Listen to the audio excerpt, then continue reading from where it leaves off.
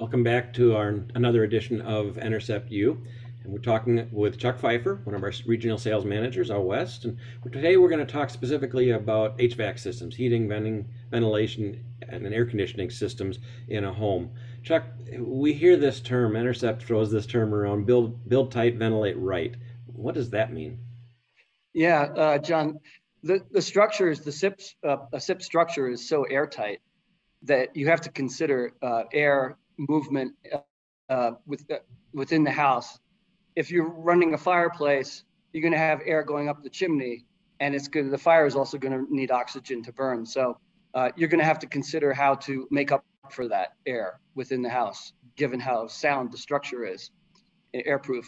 Uh, in the past, I owned restaurants, and uh, we had exhaust hoods that would vacate a lot of air. So you really have to have an engineer come and cal- calculate what your air movement is to determine your makeup air, and it would be a mechanical makeup air. So I suggest getting obviously an HVAC professional in to do the calculations and figure out what you need in any circumstance.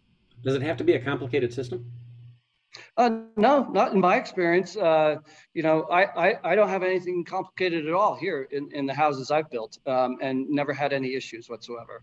Good. Yeah. Yeah. In, in talking with, with folks, again, getting that professional involved, uh, they know the CFM and the kind of movement. It's interesting. Most of the homes that we grew up in, they exchanged the air when the wind blew.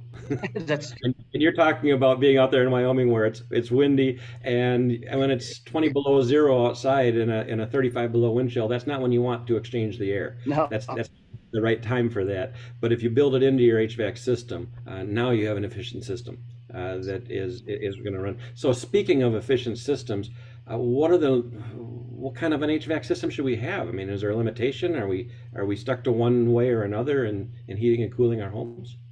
No, not at all. Uh, I don't use air conditioning here, so I can't speak to that too well. I did live in Florida for a while, so air conditioning was a must. Uh, 12 months out of the year, pretty much. Uh, but here with, I've used two different systems. Uh, well, I do have fireplaces I use to supplement heat. But uh, in, in the first house that I constructed, I used uh, a radiant uh, uh hydronic floor system fueled by a, a propane fueled uh, heating unit. That worked fantastic. So that was one, one system. Uh, and then now I'm using radiant infrared heaters, heating panels. And they're, in my opinion, the best way to go. they cost a bit more to initially, but they're well worth it. So yeah, there's you could go any way you want. Okay, yeah. So we talk with folks that are using mini splits because of the of the size that they can run with, because the the building is so efficient, they can downsize it, and a mini split works well. We talk with folks that use geothermal, and mm. and and we find the advantages of that. And a, you you mentioned that you don't use air conditioning. Most of the country does, yeah. And that that that aspect of it is very important. Making sure you again you get your HVAC your HVAC professional in, involved to downsize that system? Why is it important with air conditioning? Uh, to, to, to make sure the system's not overbuilt? It's just energy consumption, in my opinion. I don't. I think that's the number one factor to go as small as you can. Um, could I just jump to something real quick? Because it was a funny thing that Joe, our national sales manager, and I were discussing. My garage is a SIP garage with the walls and roof, etc. And I was telling him that, you know, it might be minus 30 out, but it never gets below 25 in there. And my thought was, oh, it's the two windows taking in solar. And Joe suggested, uh, based upon his experience, that it's the actual slab creating geothermal heat.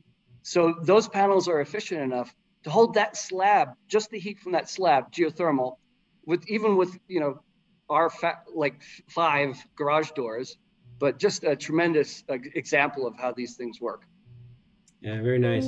So, so again, to recap, getting your professional involved, even with with air conditioning systems, part of the problem with them being oversized is they're extremely inefficient when they're oversized.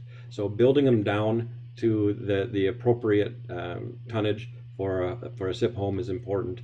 Uh, so, thank you. We appreciate your insight, and and Absolutely. that's one of those one of those subjects that we really need to involve uh, our our contractor in as well. Mm-hmm.